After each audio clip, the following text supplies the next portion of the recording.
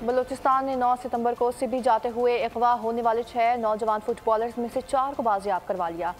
कानून नाफिज करने वाले इदारों, मकामी इंतजामिया और सूबाई हुकूमत की कोशिशों से चार मुहवी फुटबॉलर्स को हिफाजत बाजियाब करवा कर उनके घरों तक पहुँचा दिया गया।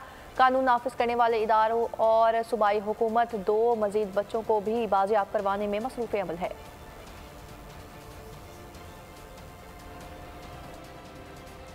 सकरन में चार अफराद की हलाकत का मामला मुकदमा दर्ज। निगरान वजी अला जस्टिस रिटायर्ड मकबूल बाकर ने तहकीकत के लिए कमेटी कायम कर दी। इंतजामी से मुजाकर के बाद हलाक होने वाले अफराद के लवाहकिन ने कौमी शाहरा पर दूर रूह से जारी धरना खत्म कर दिया। पुलिस और रेंजर्स ने मतलूब दहशत गर्दों की गिरफ्तारी के लिए गाँव मार्च अलबानी में कार्रवाई की। एहलकारों ने घरों में सर्च ऑपरेशन किया तो गाँव वालों ने मुजामत की। पुलिस और रेंजर्स ने अपने दिफा में फायरिंग की, जिससे चार अफराद हलाक, चार जख्मी हुए सब्सक्राइब करें और बेल दबाएँ ताकि कोई खबर रह न जाए।